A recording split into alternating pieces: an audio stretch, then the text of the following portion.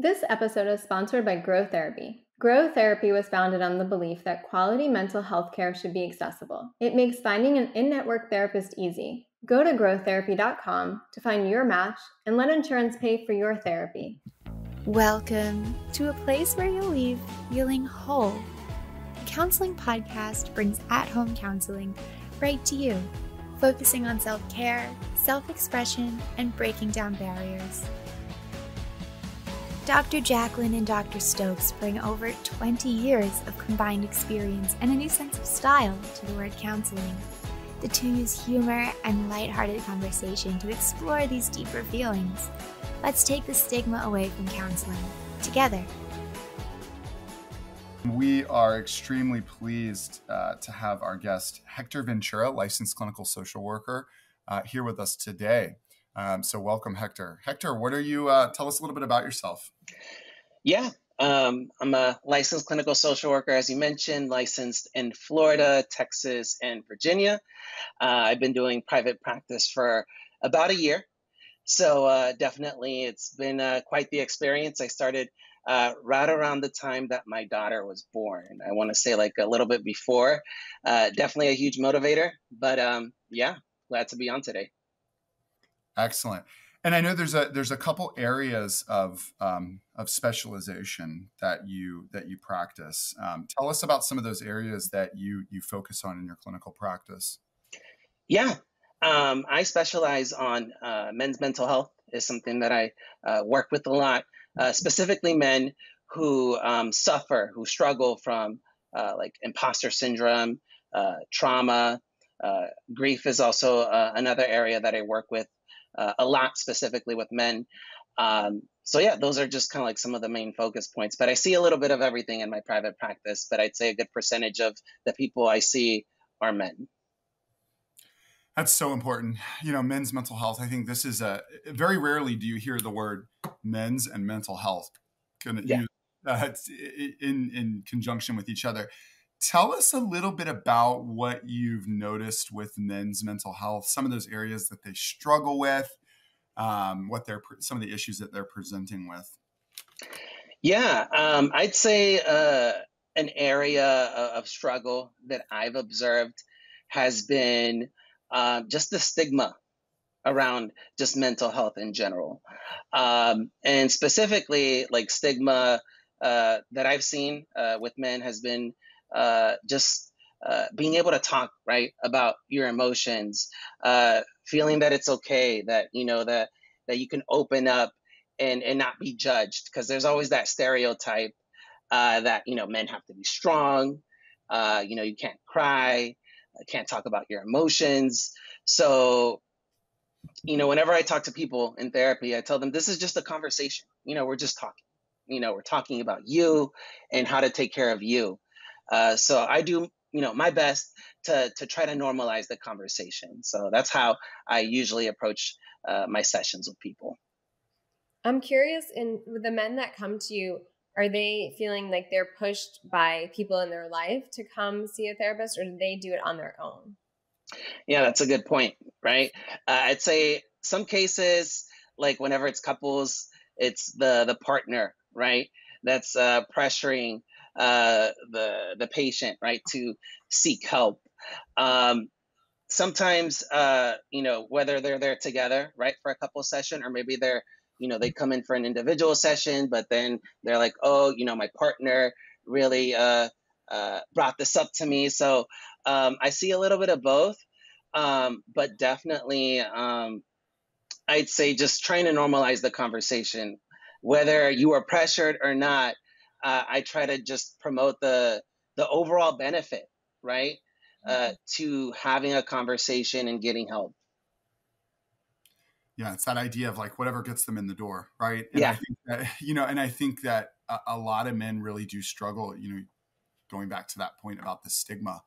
I mean, I think it's really hard for men to understand that it's okay to feel, it's okay to, you know, have certain thoughts, it's okay to have certain experiences where yeah. maybe you know men don't they don't they don't always have to have the answer and I, and I think it goes back to some of those like um, cultural things that we have um, and and in the United States and all across the the globe where you know men can't feel it's the I think of the the sayings like "suck it up" and "walk it off." Um, uh, yeah. and these concepts.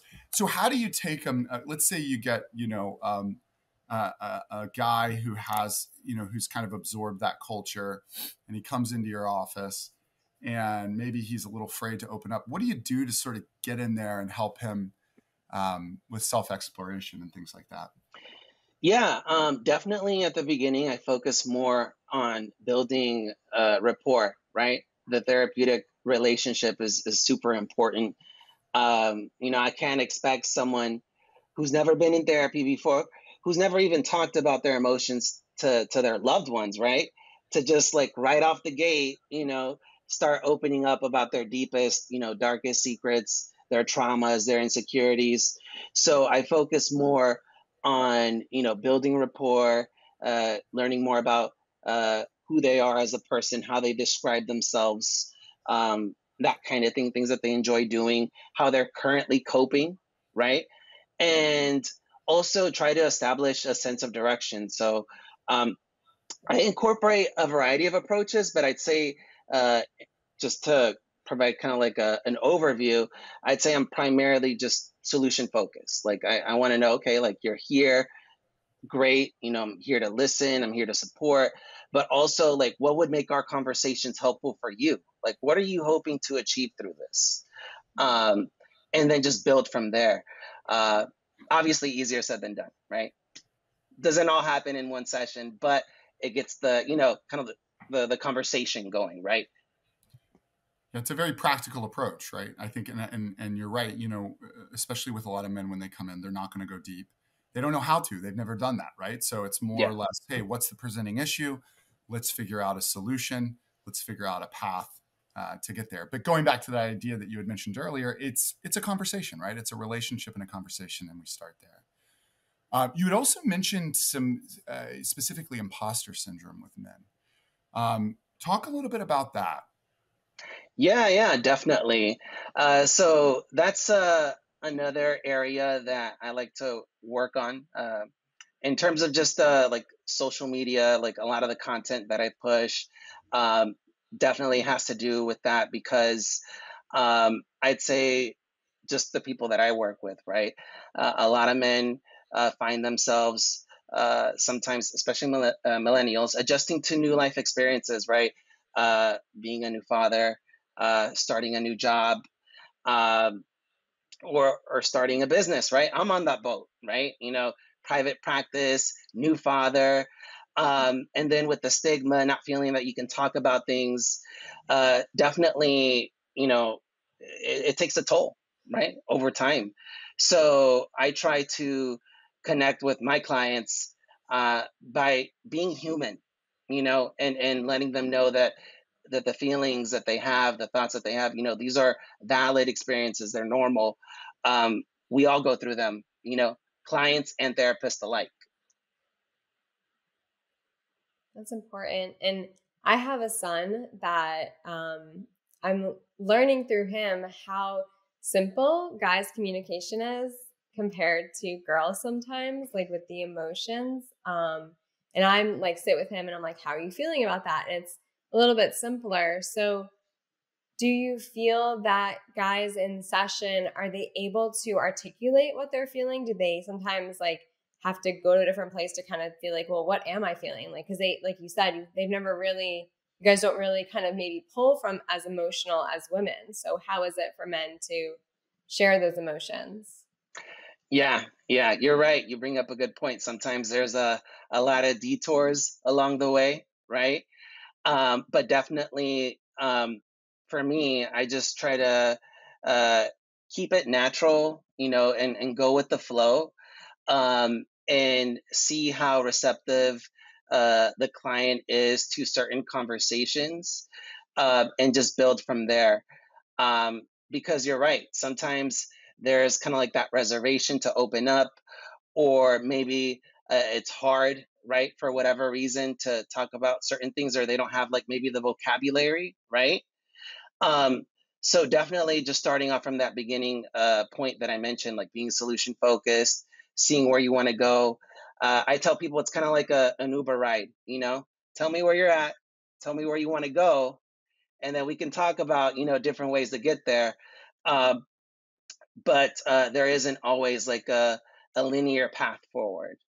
Um, so that's kind of like, in a nutshell, kind of like how I work with people uh, to navigate, right, some of those reservations that they may have along the way.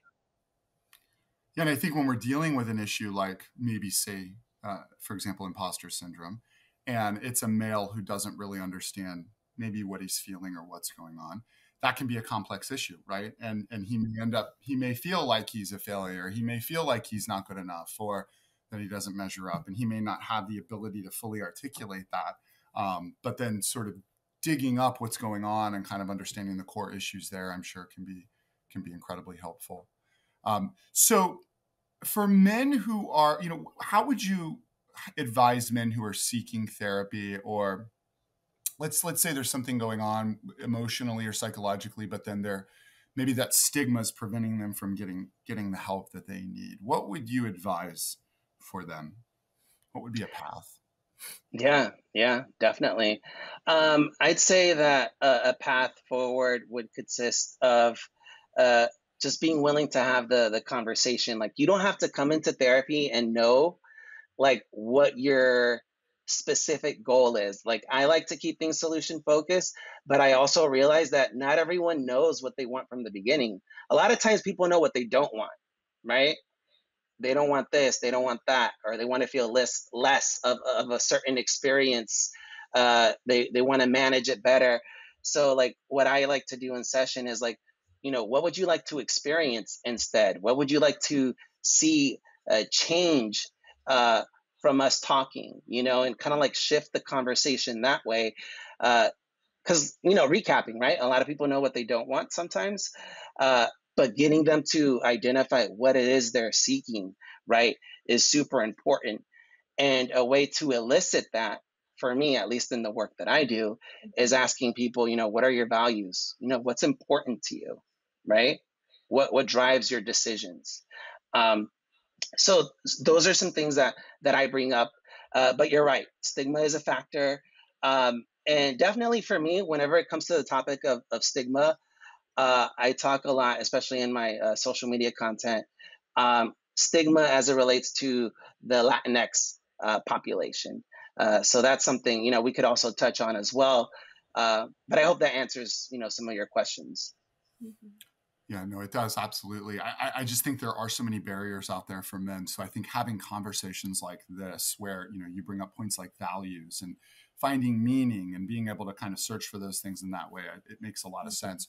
Let's talk a little bit about um, men in the Latinx community. Tell us a little bit about that and your your passion there. Yeah, yeah, definitely, definitely.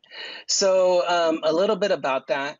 Um, I'm Salvadorian American. Uh, my parents are immigrants. They came to this country, uh, just to give you guys a little bit of a little bit of a bio, uh, to America in the late '80s, um, and just I, I, like to open up about this because uh, the experiences that uh, a lot of people from Latin America have uh, have endured, right, play such a big role and the mental health that is experienced in the family unit.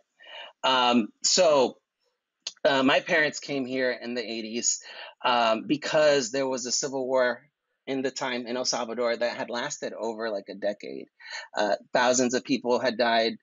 Uh, they came, you know, fleeing the country, uh, were able to, you know, uh, find a path to, to residency and citizenship. Um, and and build a new life here in America, right? But along with that uh, came the the stressors of adjusting to a new way of life, uh, you know, experiences here in America, the language, uh, etc. So I, I, bring that up uh, as context for just how stigma can affect uh, a lot of these uh, Latinx families, specifically families that consist of like first or second generation like immigrant families, right? So um, there's a concept um, in Spanish, it's called machismo. So essentially, it's a, a sense of masculine pride, kind of like what you were talking about earlier, right? What a man should be like, uh, you know, don't talk about your emotions. Uh, you got to be strong. Uh, you got to brush things off. So, um, a lot of times, uh, families, especially like male figures, they've you know endured you know certain experiences in their homeland, right? And they don't talk about their emotions, right?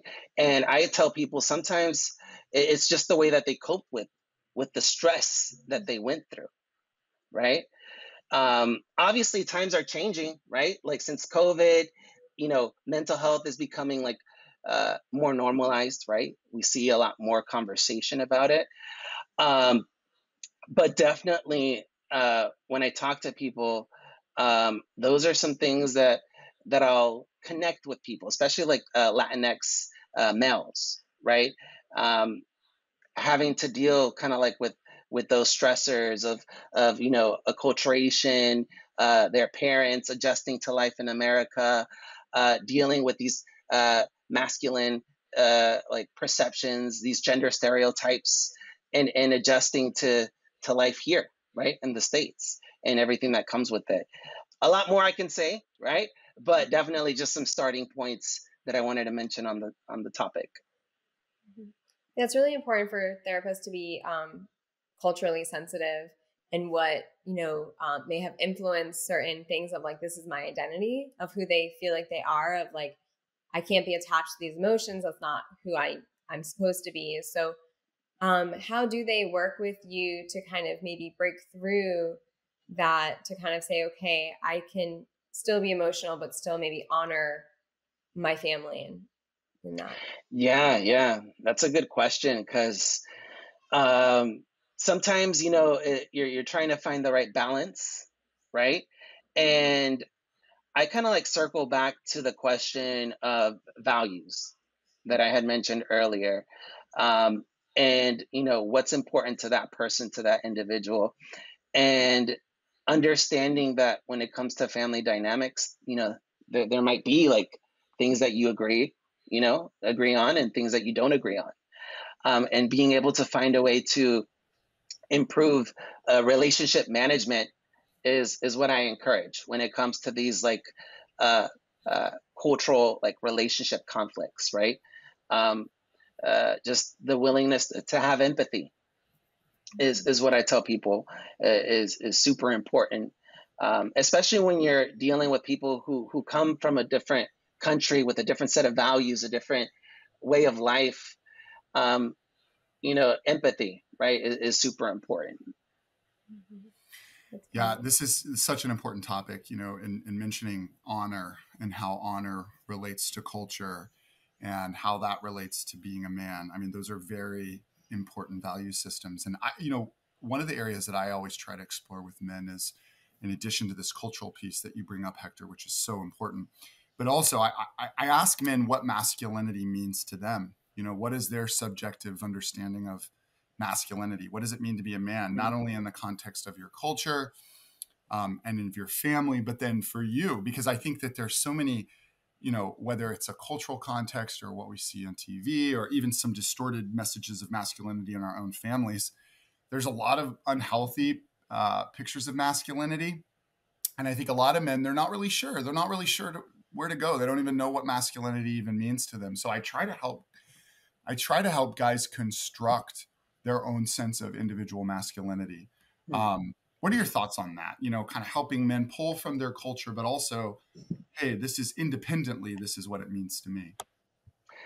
Yeah, yeah, I think that's a, a good way to open up the conversation. You know, uh, what does it mean to you? Um, and um, not just what does it mean to you, but also like um, how does it come into play and in in terms of behavior, right? The actions that you take.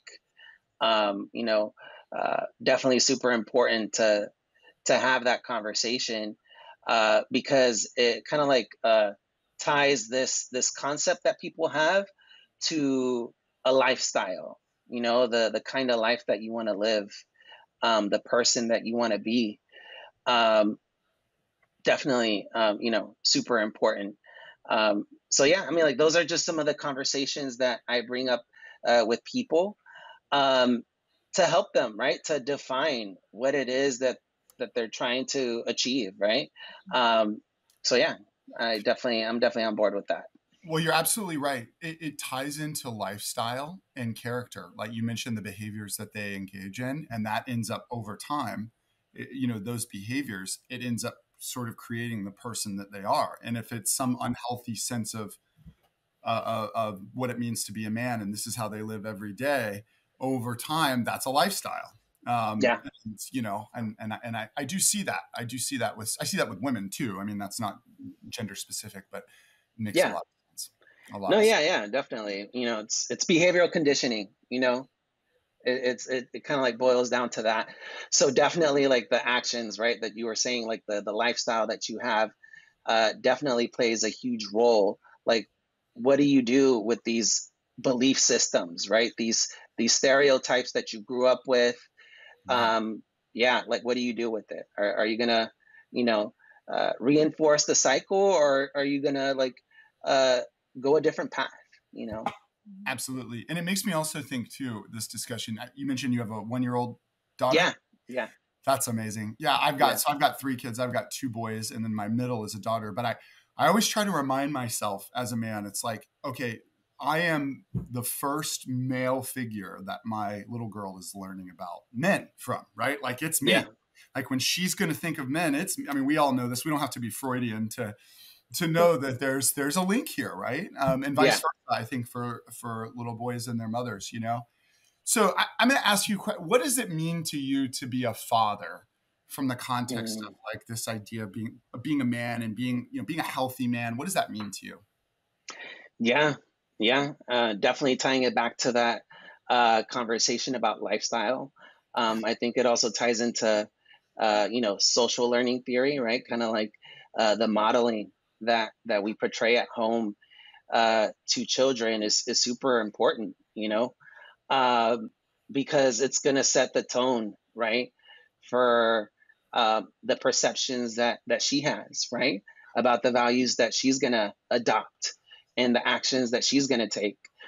So, um, yeah, it, has been an experience, um, but definitely, um, I'd say you know we're happy you know it's been an adjustment for sure.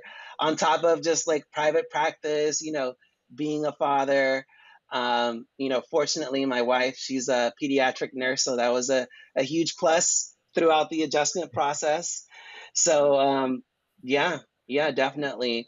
Um, and i would also say uh, not just like the individual modeling right um, in terms of just my relationship with her but also you know the gender the gender stereotypes in in a relationship right? Mm-hmm. how i get along with my wife you know those are things that she's also seeing you know uh, that she's going to be observing throughout her life as well. So you know that's also another area where that plays out right?